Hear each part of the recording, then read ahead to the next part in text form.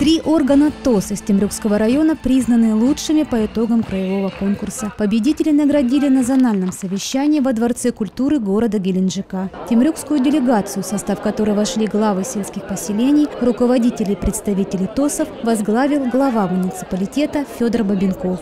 В рамках краевого конкурса название «Лучший орган территориального общественного самоуправления Краснодарского края» определены по три победителя от каждого муниципального образования. Победители получили дипломы законодательного собрания, благодарственные письма губернатора, а также денежные премии в виде дотаций из бюджета края. Более 500 тысяч рублей за первое место, 300 второе и 200 тысяч рублей третье место. Средства пойдут на развитие и благоустройство территорий. Торжественную церемонию награждения победителей провел председатель ЗСК края Юрий Бурлачко и заместитель губернатора Краснодарского края Алексей Капайгородский.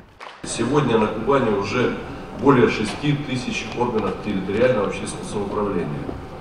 Но дело даже не в количестве, а в том, что территориальное общественное самоуправление вовлекает в свою работу самых толковых, активных и энергичных людей, которые хотят быть полезными своей стране и родному краю.